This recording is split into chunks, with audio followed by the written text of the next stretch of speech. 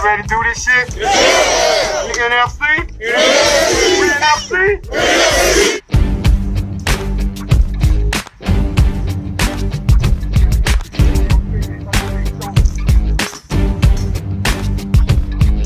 This is not a demonstration. This is not a goddamn protest. This is a black militia.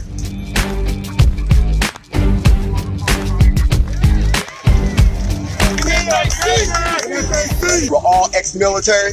We're all very disciplined. We're all expert shooters. We don't want to talk no more. We don't want to negotiate.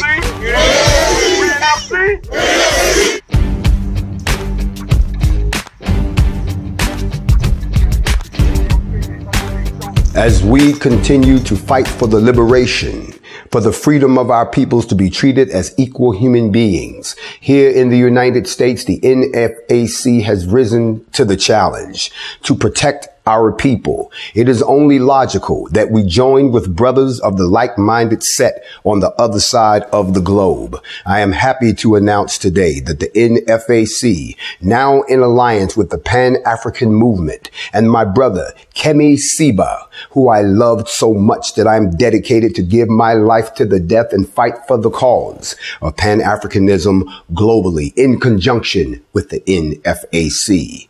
Kemi Seba, we support you. We align with you as you have aligned with us. One world, one voice, one people. Uhuru.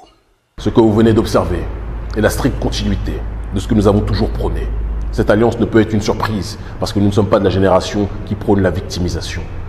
Nous le disons, nous le répétons, nous ne voulons pas l'intégration, on ne force personne à nous aimer, mais on va forcer tout le monde à nous respecter. Ils finiront par comprendre.